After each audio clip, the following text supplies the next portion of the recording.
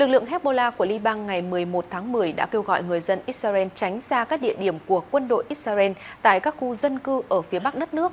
Tuyên bố bằng tiếng Ả Rập và tiếng Do Thái của nhóm này nêu rõ người dân Israel không nên đến gần các địa điểm quân sự này để bảo toàn mạng sống. Trước đó cùng ngày, quân đội Israel cho biết còi báo động đã vang lên ở một số khu vực miền trung nước này do có sự xâm nhập của thiết bị bay không người lái và đồng thời tuyên bố rằng đang xem xét tình hình một cách chi tiết. Quân đội Israel cũng cho biết hơn 20 quả rocket đã được bắn vào miền Bắc Israel liên tục trong một giờ. Sau gần một năm giao tranh xuyên biên giới, Israel đã tăng cường các cuộc không kích vào những nơi mà họ cho là các vị trí ẩn náu của nhóm chiến binh Hezbollah ở Liban kể từ ngày 23 tháng 9. Diễn biến leo thang này đã cướp đi sinh mạng của hơn 1.200 người và khiến khoảng 1 triệu người phải rời bỏ nhà cửa. Hezbollah nhiều lần tuyên bố họ đã bắn tên lửa vào các khu vực ở phía bắc Israel. Các lực lượng gìn giữ hòa bình của Liên Hợp Quốc tại Nam Liban xác nhận trụ sở của họ tại Naqra đã bị tấn công lần thứ hai trong vòng 48 giờ, chỉ một ngày sau khi hai lính mũ nổi xanh Indonesia bị thương do lực lượng Israel nã pháo. Vụ việc tiếp tục làm leo thang căng thẳng tại Liban. Bộ Ngoại giao Liban ngày 11 tháng 10 cáo buộc lực lượng phòng vệ Israel đã ném bom vào đài quan sát và căn cứ chính của lực lượng lâm thời Liên Hợp Quốc tại Liban, UNIFIL, ở Ras Nakura và căn cứ của tiểu đoàn Sri Lanka khiến một số người bị thương. Vụ việc mới nhất xảy ra gần một tháp quan sát và được coi là một diễn biến nghiêm trọng theo tuyên bố của UNIFIL, nhấn mạnh rằng an toàn của nhân viên và tài sản Liên Hợp Quốc phải được đảm bảo. Trong vụ tấn công, một trong hai lính mũ nổi xanh bị thương đã được chuyển đến bệnh viện, người còn lại được điều trị ngay tại chỗ. Tổng thư ký Liên Hợp Quốc Antonio Guterres cho rằng vụ việc không thể chấp nhận và không được phép tái diễn. Nga, Trung Quốc, Ấn Độ đều lên án hành động của Israel, yêu cầu đảm bảo an toàn cho lực lượng gìn giữ hòa bình. Bộ Ngoại giao Pháp đã triệu đại sứ Israel để yêu cầu giải thích và nhấn mạnh rằng các vụ tấn công này vi phạm nghiêm trọng luật pháp quốc tế. 700 binh sĩ Pháp tham gia UNIFIL là dấu hiệu cho thấy sự ủng hộ không ngừng của chúng tôi và mong muốn của chúng tôi trong việc cam kết đảm bảo an ninh cho cả Israel và Liban. Do đó, hoàn toàn không thể chấp nhận được việc UNIFIL bị lực lượng vũ trang Israel cố tình nhắm mục tiêu. Chúng tôi lên án điều đó. Chúng tôi sẽ không tha thứ cho việc nó xảy ra lần nữa. Phía Israel thừa nhận các lực lượng của họ đã bắn vào khu vực này, viện lý do đang đáp trả các mối đe dọa và cho biết không chú ý khiến hai lính mũ nổi xanh bị thương. Theo Israel, họ đang tập trung vào việc chống lại Hezbollah và khuyến nghị UNIFIL ở miền nam Liban di chuyển về phía bắc khoảng 5 km. Đáp lại, UNIFIL tuyên bố họ sẽ tiếp tục ở lại thực hiện nhiệm vụ, trong khi Liên Hợp Quốc tái khẳng định cơ sở của cơ quan này là bất khả xâm phạm. Không có lý do gì để bất kỳ quốc gia thành viên nào nhắm vào lực lượng UNIFIL. Các cơ sở của Liên Hợp Quốc là bất khả xâm phạm, với tư cách là một bên tham gia Công ước năm 1946 về đặc quyền và miễn trừ của Liên Hợp Quốc. Israel có nghĩa vụ tôn trọng quyền bất khả xâm phạm đó.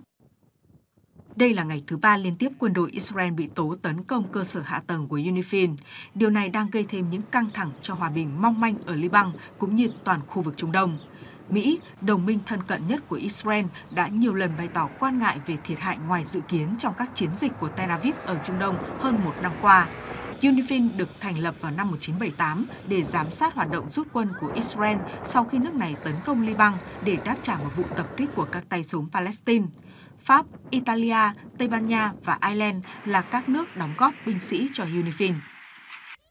Các chuyên gia đang nỗ lực tìm hiểu cách thức tấn công của Iran sau vụ tập kích gần 200 tên lửa vào Israel, cũng như xác định liệu Israel có thể tiếp tục tự vệ trước nhiều đợt tấn công bằng tên lửa nữa hay không nếu xung đột tiếp tục leo thang ở Trung Đông. Hôm 1 tháng 10, Iran đã chút khoảng 180 quả tên lửa các loại vào lãnh thổ Israel trong một động thái được cho là đáp trả hoạt động của quân đội Israel ở khu vực biên giới Liban chống lại Hezbollah. Israel ban đầu hạ thấp thiệt hại do cuộc tấn công gây ra, nhưng sau đó thừa nhận rằng một số căn cứ quân sự của nước này đã bị tấn công, mặc dù không có máy bay hoặc cơ sở hạ tầng quan trọng nào bị hư hại. Hình ảnh vệ tinh do công ty Planet Lab công bố sau đó đã tiết lộ rằng căn cứ không quân Nevatim đã bị ảnh hưởng ở 30 vị trí khác nhau, nhiều nhà chứa máy bay và tòa nhà bị hư hại. Một hồ lớn do tên lửa rơi xuống cũng xuất hiện gần trụ sở tình báo Mossad của Israel ở Glilot, phía bắc Tel Aviv. Ước tính có hơn 20 tên lửa đã xuyên thủng hệ thống phòng không. Khoảng 20 tên lửa đã tấn công căn cứ không quân Nevatim, trong khi 3 tên lửa tấn công căn cứ Tenov ở miền trung Israel.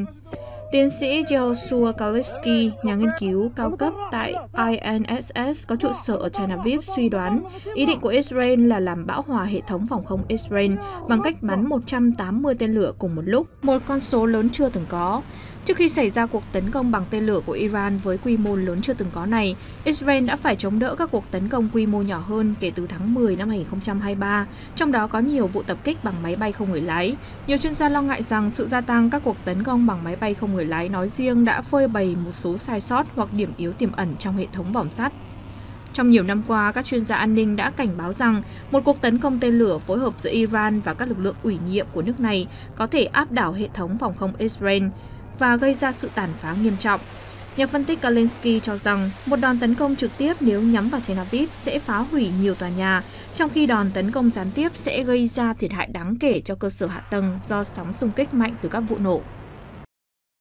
Ngày 11 tháng 10, Thủ tướng Liban Najib Mikati đã hối thúc Liên Hợp Quốc thông qua nghị quyết kêu gọi Israel và lực lượng Hezbollah ngừng bắn ngay lập tức. Phát biểu trên truyền hình, Thủ tướng Mikati cho biết, Bộ Ngoại giao Liban sẽ yêu cầu Hội đồng Bảo an Liên Hợp Quốc ban hành nghị quyết kêu gọi ngừng bắn hoàn toàn và ngay lập tức. Ông Mikati khẳng định cam kết của chính phủ Liban tuân thủ nghị quyết 1701 được thông qua vào năm 2006 nhằm hỗ trợ quân đội Liban giữ cho khu vực biên giới phía nam với Israel không có vũ khí hoặc không có lực lượng vũ trang nào khác ngoài lực lượng của chính phủ Liban. Ông cũng cho biết Hezbollah đã đồng ý triển khai binh sĩ ở biên giới với Israel như một phần của lệnh ngừng bắn.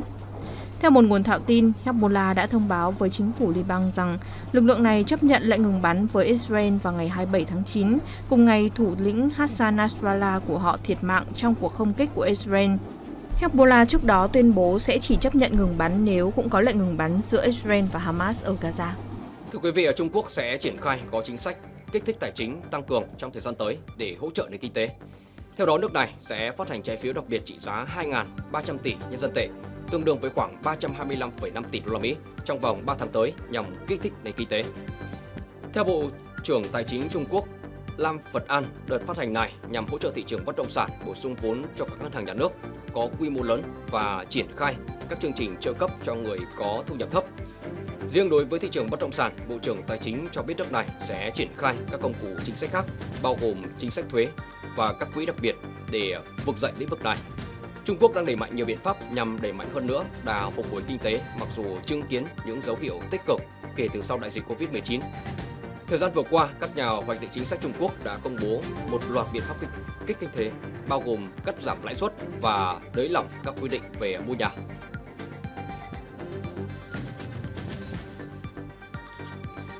Bộ Chỉ huy xử lý vấn đề khẩn cấp trên biển của Đức thông báo ngày 11 tháng 10, lửa đã bùng phát trên tàu chở dầu Andika trên biển Baltic, ngoài khơi phía bắc nước Đức.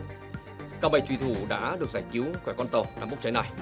Theo tờ báo địa phương, Osce Saiton cho biết một số nhân chứng thông báo đã xảy ra một vụ nổ lớn vào khoảng 9 giờ 15 phút sáng theo giờ địa phương và khói đen nhanh chóng bốc lên từ con tàu chở dầu vốn được sử dụng để tiếp tế nhiên liệu cho các tàu trên biển này.